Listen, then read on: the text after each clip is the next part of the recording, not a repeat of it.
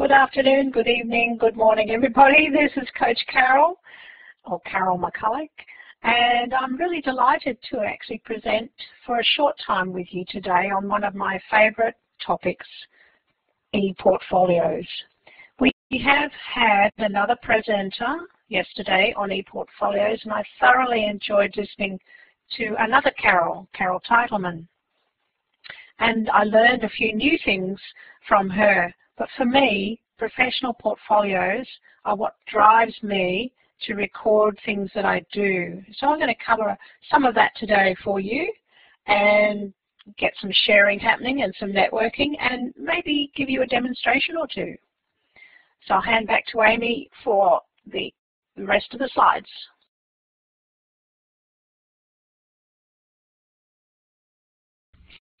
All right, so we just wanted to take a minute to thank our sponsors. Uh, Academy has, has generously sponsored this event. Um, Steve Hargadon, the Learning Revolution, um, Carol and the team, the Australia E-Series, and of course Blackboard Collaborate. Um, so that is it for this slide here. And this is our fun map slide, which I'm sure you are all pros at by now. Um, so I'm going to go ahead. You guys all have whiteboard permissions, so go ahead and drag a smiley face or a world map to wherever you are.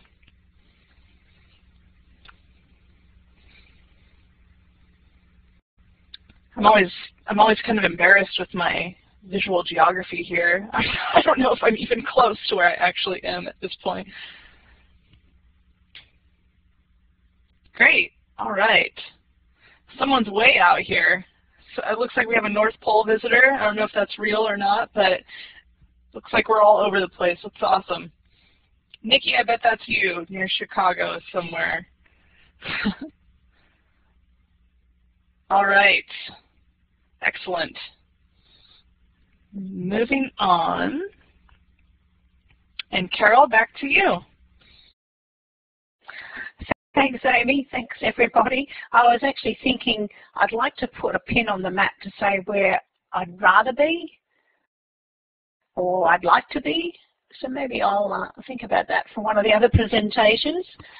Certainly like to visit other countries, but how easy is this today? We're actually having the other countries come to us and visit with us for a short time and really appreciate that because the time zones can be really tricky. yes, indeed, Michael. So today I want to share you, with you uh, a bit of an e-portfolio journey. And down here on the right-hand side, you can see a little figure whom some of you might recognize. Uh, we ran uh, an e-portfolio course couple of years ago, and this little e-portfolio guy was our little mascot. And so you may see a few more of him throughout this presentation. I actually found my other presentation from which I've developed this shortened version for you today because I wanted to share with you not just my own uh, e-portfolio, but the journey of getting a course up and running and for helping others across the globe engage with the whole concept of professional portfolios.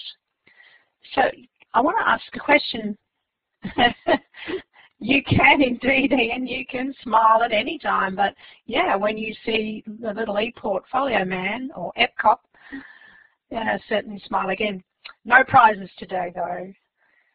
I, what I'd also like you to do straight off the bat is give me a green tick from the polling tools if you have an e-portfolio already in whatever form that it presents itself. Getting a few green ticks, great. Excellent, I'm really glad to see that. And maybe those who don't, maybe I should put my own green tick in. we can actually help encourage others to take one up. So thanks for sharing that with me. I guess we need to be cognizant of what an e-portfolio is. And you know, they've been around a long time. You know, back in 2007, this was the def definition that came from Shane Sutherland, and I'll let you read that one for yourself. And since then, Shane and a group of other writers have written a fabulous book called Pedagogy. You can give me a smiley face if you know that one. And he is talking about the use of e-portfolios as a goal-setting planning tool, not just a reflection on achievements and experiences tool. So if you've ever heard of Pedagogy, you could put a green tick in. If you're looking for it uh, to purchase, I'm sure you'll find it on Amazon. It was published in 2011.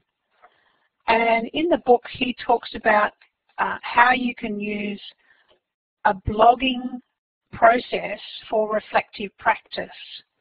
And I know that that's what I do all the time, is I use a blogging tool or a journal or a notebook because I am a reflective learner. Can I have another green tick if you have some sort of journal or blogging happening as well?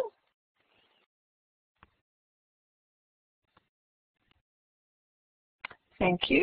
A few more of those coming in. And later on, I'll ask you to um, reflect on or give us an explanation of what that does for you. And feel free to keep going in the text chat and just make comments as you go. So today I'm going to try to give you my vision of how e-portfolios are essential for the professional workers such as ourselves. I've taken this little diagram from the work of the JISC and I should have got the link for that but uh, I'll do that in a moment. And you may not be able to read all of the text here on this slide but for me it was a really great way of looking at how a portfolio can be used from the early years right through to the latter years. And I guess I put myself in the latter years. Uh, so you might be able to see me over here. Uh, and I keep going because I find that every day, every year, even though I'm retired or semi-retired, there's so much learning that I want to reflect on. I need to keep my e-portfolio up to date. But let's come back down here to uh, this young lady here. And this is uh, a little journey for Susie. You may have seen it or read about it. Um, it's been around a while, but it still actually gives you the visuals that I think are really important for the journey. Even back further than that, you might in, uh, encourage young students to reflect on their learning and keep a journal or to have their own little e-portfolio. And there are some lovely tools that are available for that. But once they get into the school years, I think it's essential that they finish their school year and have some sort of reflection on it and hopefully inside an e-portfolio. In some countries, that's mandatory. Uh, for example, in Wales, where I was born, every school student must have an e-portfolio. I'm pretty sure they're still continuing with that. So it's always been an encouragement to me that one day we should be able to have that happening in Australian education. Then when we move along a little bit in years to when the student moves into a work relationship with all kinds of different employers, and these days there would be many of them, and not just the one, so they need some sort of passport to move between jobs. Absolutely, absolutely, it has to be portable. So this becomes, as this um, person is demonstrating, like a learner passport. And that might take them into this arena where they're uh, entering university, entering a learn local, or into a TAFE, or any other adult learning environment. And you'll see more and more in, in these situations or these environments that portfolios are built into the whole experience for the student. Uh, going back to you now, uh, give me a green tick if in your institute, environment or community centre you have portfolios as a tool that you introduce to, us, to your students early on. Just give me a green tick or a red cross.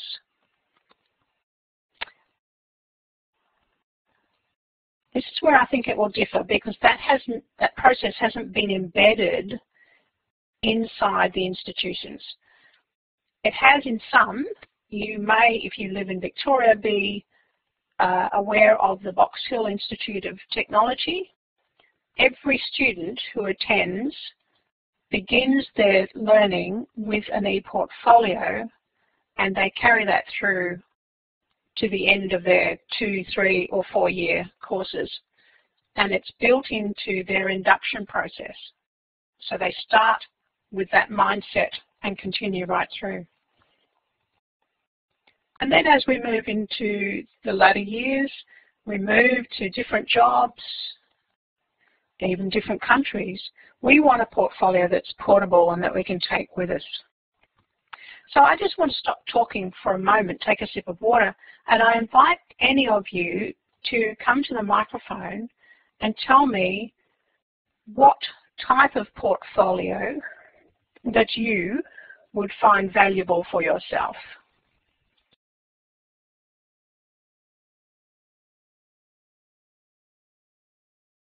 I can see that Michael is texting in there, so I'll wait and see what he has to say.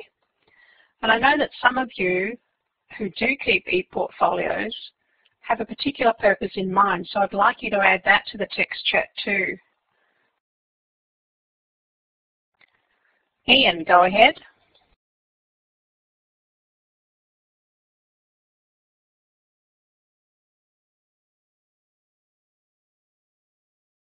Want to click on the talk button, Ian?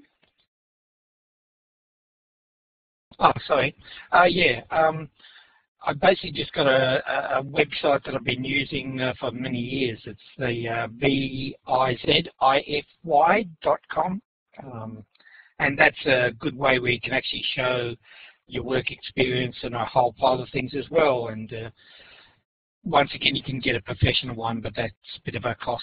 Um, but yeah, it's quite a nice one. Yeah, About Me is a good one too. Yes, I've, I've uh, got it About Me as well. Thanks, Ian. Yes, you, you reminded me that um, we will unpack some of the different types of portfolio tools that we can have. And um, I think if we begin um, in our creation of a portfolio with a real purpose, then we choose the tool according to the purpose. And I think that's a valuable starting point. Michael, do you have your microphone with you? Do you want to tell us about your aim to have your portfolio meeting the requirements of the local registration board.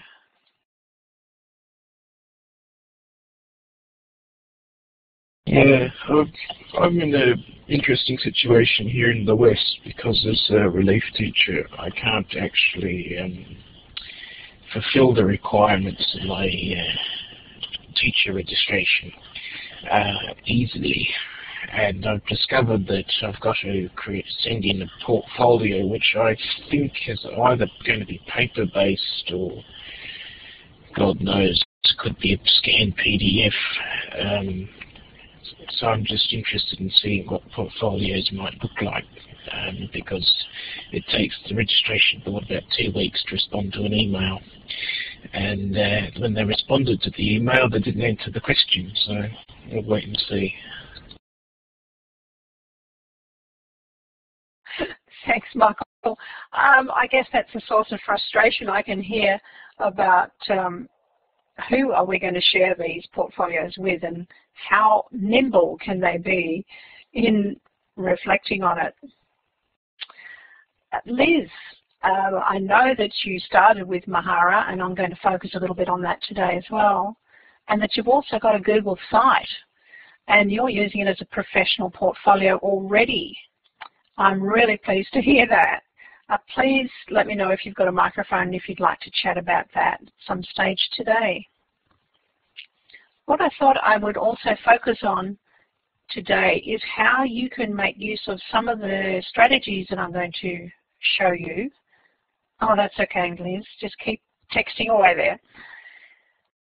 Some of the strategies that you might consider using to keep some reflection on your experiences in OZeLIVE. So the other day in the uncon, no, it was this morning only, my gosh. Earlier today, I did a little Pecha Kucha presentation and talked about the different tribes that we have happening in OZeLIVE. And I've given them names now. So I'm saying that presenters here in OZeLIVE are our wisdom warriors, the people who, uh, they're the emergent thought leaders. They're reflective, like me, and compassionate. They lead, support, mentor, and they're into, in a big way, collaborative education, a, continually, a continual source of inspiration. So they need to keep an e-portfolio for their professional life. The second group, I'll just use my little pointer, the network nomads, I uh, consider those to be the people who are willing to share their experiences, like yourselves in this room today. And they're usually found in uh, a whole variety of communities of practice across the globe, as Julie Lindsay was describing today and yesterday. And they might be the sort of people who enter into the massive open online courses. They're, they're risk takers and they're not afraid to jump in. And always independent free thinkers, there's joiners, and I think for them that a reflection on the networking that they do should also be included in a professional portfolio. So if you've attended conferences, then that becomes almost like an artifact, at least evidence, of your continual network nomading. In our third group, which I've given the title of Technology Stewards, uh, these are sorts of people like Amy and Michael and others in my team who have given tirelessly as volunteers for this conference. I think that they too should keep a professional portfolio. They are also emerging forms of leaders in communities of practice, and they're always helping those communities to construct and live comfortably in their digital habitats. You know, I can't believe how much work has gone into the background and how ably that Amy has been able to deal with that. And we're really fortunate to have that happen to get this whole system behind our conference working well. So I'm hoping that Amy will include, and others of our volunteers will include some reflections in their portfolios.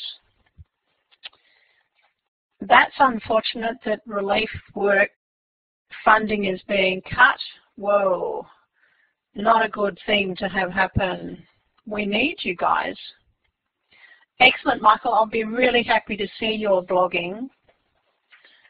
I just wanted to uh, change tactics just for a moment, just to keep you on your toes.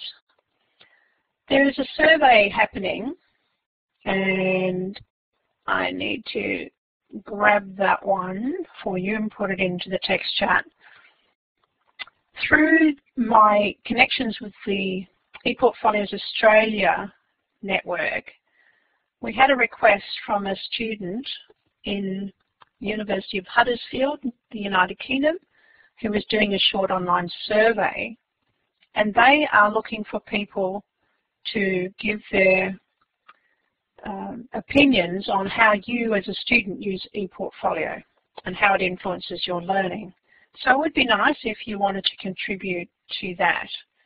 And I'll give you the link to the Australia ePortfolios so that you can find it for yourself and also uh, have a wander around in the portfolios Australia blog. I'm trying to type and talk at the same time. So I'll just pop that into the chat for you right now. So if you go over there, you'll see that message that Alison Miller has left about the survey.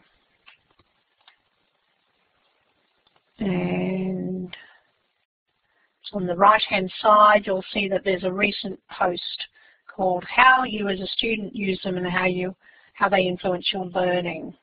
There's a whole wealth of other information in that site that you might like to tap into. For example, there will be a Pebble Bash in this year. So they're the people from um, PebblePad. And I'm just popping into there to have a look for myself right now. And that's happening in Lancefield, Victoria. Wow, okay, I'm just going to copy that and put it into the room for us. So if you are a follower of PebblePads, you might be interested in that one. So I'm not sure if you wanted to uh, do that survey, but please feel free to do so. All right, now it's a chance for a little more conversation about why we use e-portfolios. And what I've tried to display here is some of the reasons that you might use your e-portfolio. And in some cases, I don't agree with all of them. For example, I'm not a big fan of using an e-portfolio as, just grabbing my pointer, eh, as an assessment tool. I just find that it's more of a personal thing to use an e-portfolio and it shouldn't really be assessed as such. There are other tools that you can use for that. But I know that there are many of the larger universities who do exactly that. Uh, so put your opinions into the text chat uh, as we go. I am, however, a big fan of using an e-portfolio to showcase achievements. And you know that can be at any stage. It could be a set of certificates, a student might be a sporting person and have lots of certificates, or they might have um, awards, cups, medals. Pictures of those would become artifacts to showcase their achievements. Now, for example, right now I'm looking at my wall in my office and I've got all my Toastmaster International certificates framed and on the wall. I'm very proud of those and I want to be able to share them and I'm going to show you how in a moment. But the biggest one for me is to use your ePortfolio as a process of tracking, monitoring and reflecting on your lifelong learning. I don't think it stops at any point along that continuum. I'd be happy to get your opinion on that in the text chat as we go. So I'm seeing that Michael uh, is definitely one who wants to use his e-portfolio for reflective and sharing history of work experience Yes, so your work experience in your resume is a valuable piece of your portfolio. Many people, you know, think about their e-portfolio as just a, a resume. It's much more than that. So right now, I wanted to take you across to my one of my favorite tools, which is Mahara. And I'm going to do a little demonstration and I've prepared the first page of it that you should be able to link to and I'll put that link into the text chat for you. And I'm just grabbing that now. And I'm going to do an application share so I'm hoping that everyone will be able to see that. We don't have any iPad users in the room, no. Sometimes it doesn't work real well for them. So first of all, I'm going to give you a link to allow you to go and have a look at. And I just need to grab that properly for you. Actually, I could be demonstrating this from the beginning. That would be better. So let me just do that.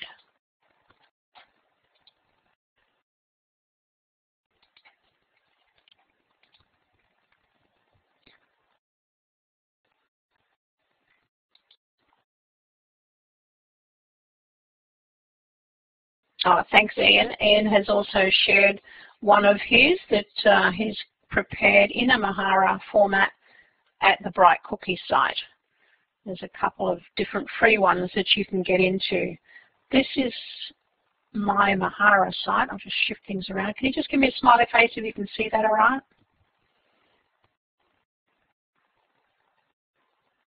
Yeah, okay, good. I'm not sure if Nikki's focus is on this room or another, but that's all right.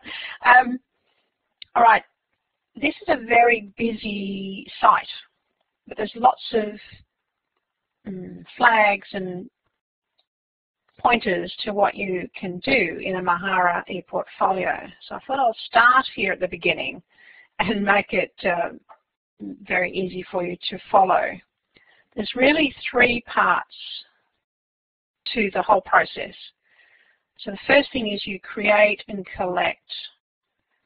So you can see on the left-hand side, you can update your profile, you can upload your files, create a resume, and even publish a journal. And on the front page of the Mahara, if you have a specific purpose in mind each day, you might go directly to one of these, depending on what you're planning to do. So once you've developed the content for your portfolio, then the second part is to organize it so that you can showcase it.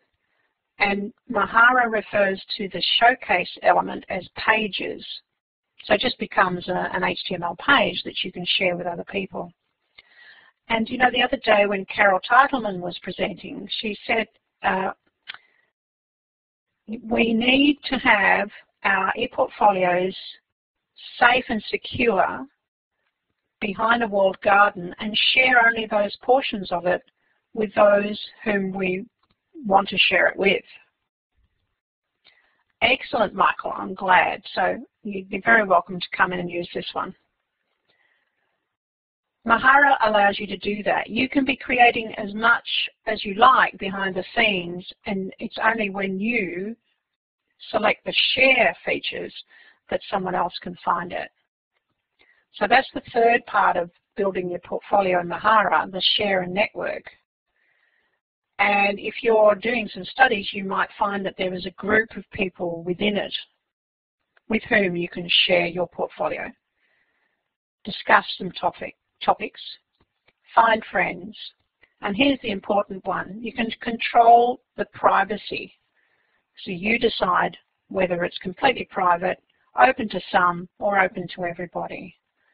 So I like Mahara for that uh, reason. So I've begun to prepare some reflections for OZeLIVE in my page called OZeLIVE. Oh no, that's my group. that's the group that I've prepared. Dear oh dear. So if you want to enter you can become part of that group, and I'll show you how. But what I need to do first of all is show you the portfolio itself and explain what each of these different portions are inside Mahara because it can get really, really busy. It's made up of lots of pages that are tabbed, as you can see here. So you've got to keep your wits about you. It's not for the faint-hearted. I'm sure Ian and Liz would agree. Um, so in the portfolio section, you have a collection of your pages and you can also join your pages together into collections. So here we've come across to have a look at what pages I've got happening here. As you can see, the main ones that are more or less the ones that I want to share out are here. There's one for eSkills, which was a project. This is an exemplar, an example for people to look at. And here's my one for the OZeLIVE 2014. Now you'll notice on the right hand side that there's an edit button that will allow me to edit the content and layout of that particular portfolio. Or if I no longer require it, I can delete it. When you're ready to create a page, you'll actually click on the Create Page icon here. If you want to start from one that you've already created, you can actually copy one of these. So maybe you've got the layout and you just want to tinker around with the content. So it gives you quite a bit of flexibility in here. So let's have a look at my OZeLIVE 2014. And hi, Paul. I'm just demonstrating the Mahara ePortfolio system. So here's the page that I've created already with some of my blogging or journal reflections coming in. And I did this one this morning about day two brings new connections because there were some funny things happening today that I wanted to capture uh, very quickly. I've used what we call a two-column layout here. So on the left-hand side, you'll see some images from OZeLIVE. I've brought in the little video that Shambles created on the YouTube channel. So you can do quite a bit of fancy stuff inside Mahara. And below it on the left, just the, the picture of the home page. But what you're seeing on the right-hand side is actually my blog or journal. And that's all coming in from the one journal with several entries. So as you can see, it starts down here. Sorry to jump around. So I've given you a little bit of information about how we got started. Something about the team the forming, storming and norming part of our process. And then my reflections at the end of yesterday and my thoughts as we rolled into today. So this becomes a page that I can now share with you and you can go and have a look at it at any time. So I need to do that by coming back into my portfolio area and giving you what we call a secret URL. Sounds pretty grand. But what I want to do is share that with you. So I'm going to the share feature. Hmm. Thought I was going to the share feature. There we go. and in here, Mahara allows you to share it with either a group, which you noticed before, called the OZeLIVE Professionals, or with the public, or in some cases with nobody. so this one has a secret URL. And I'm going to edit that now so I can grab it for you and put it in the text chat.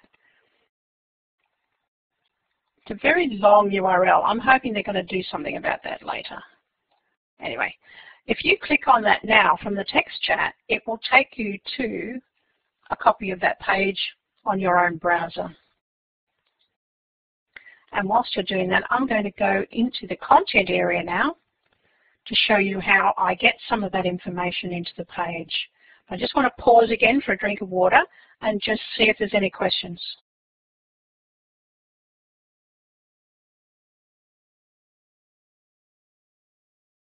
All right, all good. And I just want to spend maybe five minutes in here just showing you how to construct the content for that page. So here I am in the content section and I want to add some files. And the file could be an image, it could be a set of slides, it could be a document.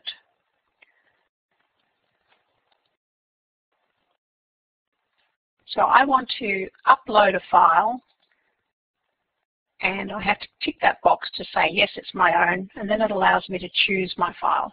So I made a couple of pictures of Julie's presentation today and I've stored them in here. I can open up two at a time actually.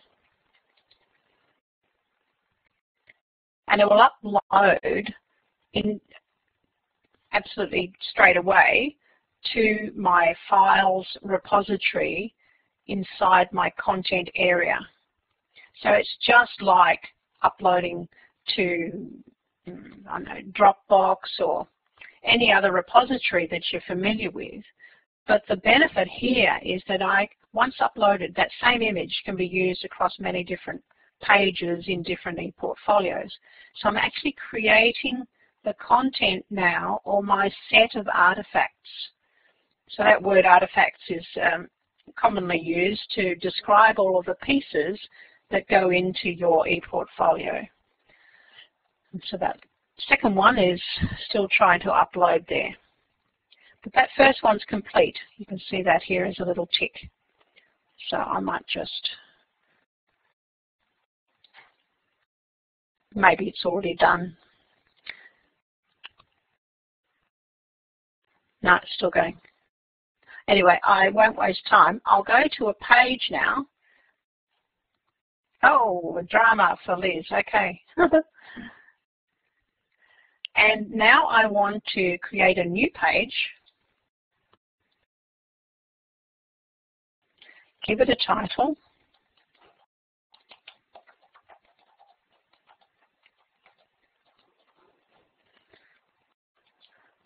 Bit of a description.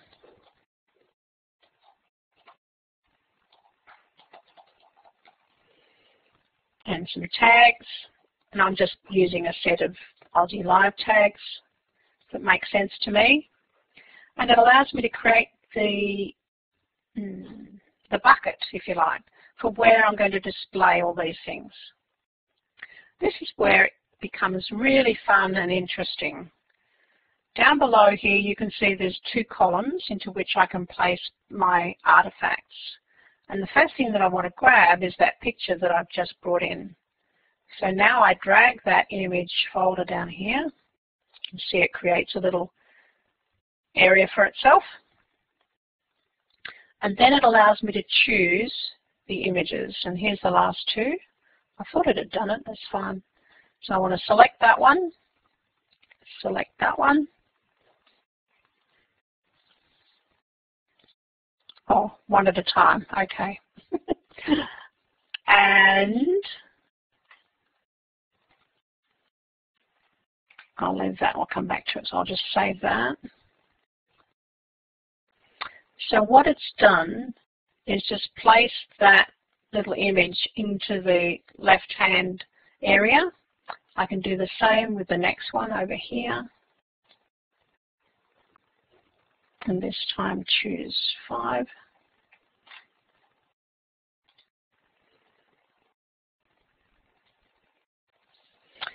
So I've now got two little pieces of evidence that I actually attended Julie Lindsay's um, keynote. And I could drag into this area some of my journal entries. So I'm going to go over to journal. I'll only spend another minute or so in here and I want a journal entry, so I drag that down. And it'll ask me, well, which journal do you want? And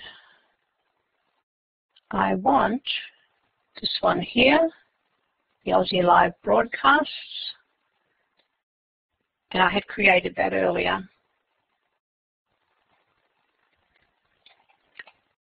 And save it.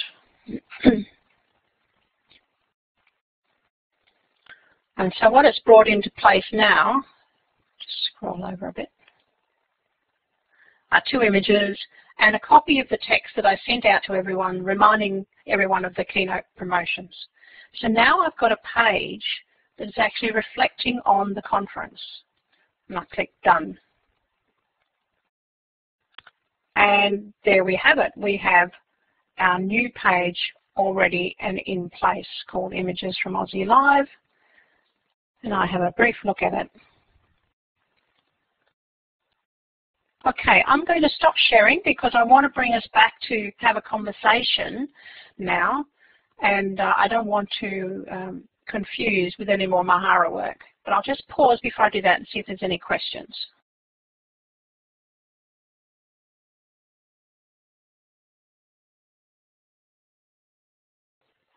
No, all good. Thank you, Ian. All right, so I'll stop sharing.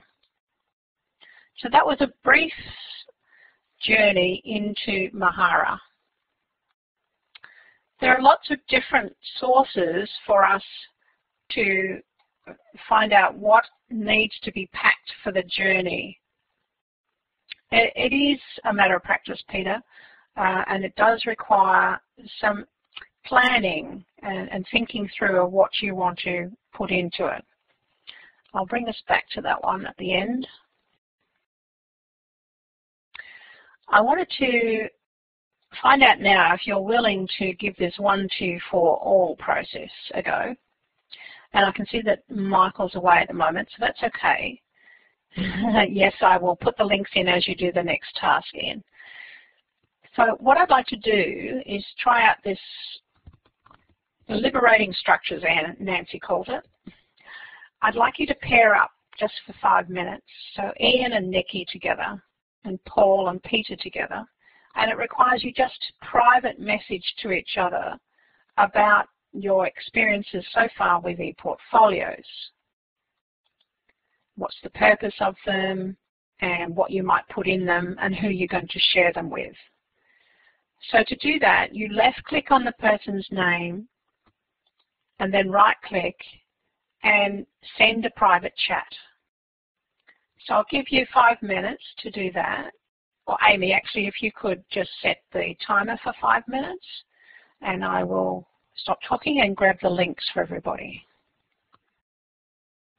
And Amy, you and I could do the same in a private chat to each other.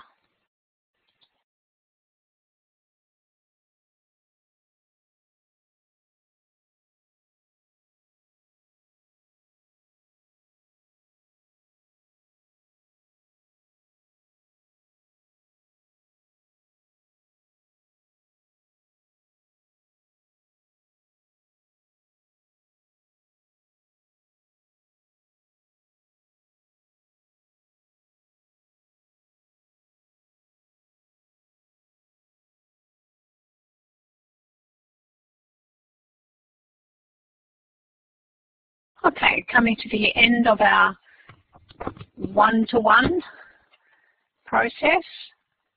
I'm not sure if you've seen my message to you, Amy.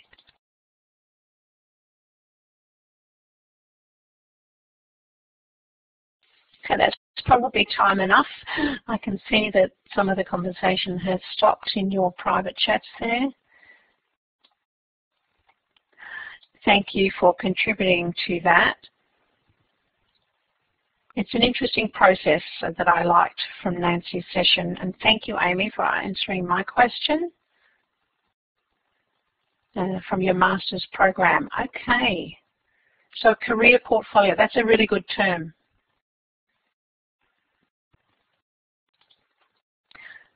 I've put on the board some links that are live that you can go to visit, so I'll give you a moment to select those so that you can go and have a look.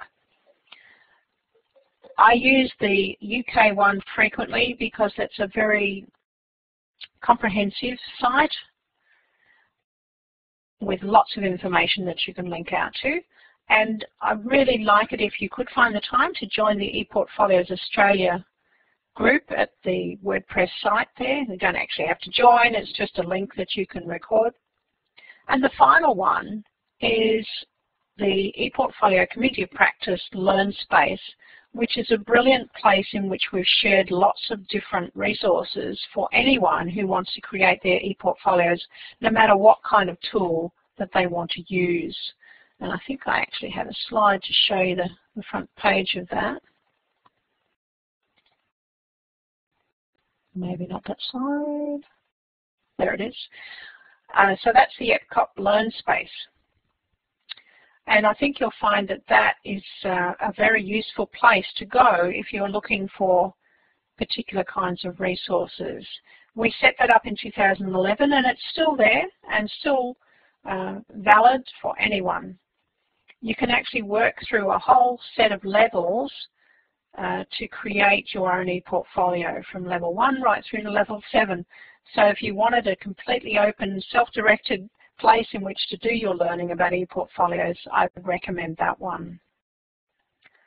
So I'm just going to bring this to a close now and give you time to go to the others and remind you that you could join the ePortfolios Australia site and the VET ePortfolios community of practice and you'll find the links to those inside the one that I gave you before. They're great sources of communities of practice. Skip over that slide. And of course, if you want to contact me, here are all my details. So I'd like to thank you for being my audience today and hope that you have some fun in creating your own e-portfolios, your professional portfolios. Thanks, Amy.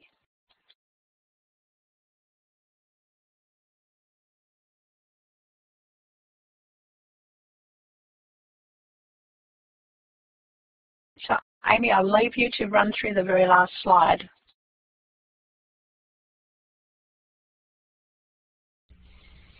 All right, everyone. Thank you so much. Thanks, Carol. This was great. Um, lots of good ideas there. Uh, some motivation pushing all of us forward, I'm sure. Um, so thanks everyone for attending. Uh, the recording will only process once everyone has exited the room. So if you have any questions, please go ahead and ask them. Um, otherwise, I will stop the recording, and then if you just want to exit the room completely by clicking the red X in the corner of your screen, and be sure to fill out the survey that will pop up uh, afterwards, and it also provides a link to getting a certificate uh, for attendance at this conference, and be sure to check out the badges that are available on the OZeLIVE site. All right, thanks everyone. Thanks, Paul.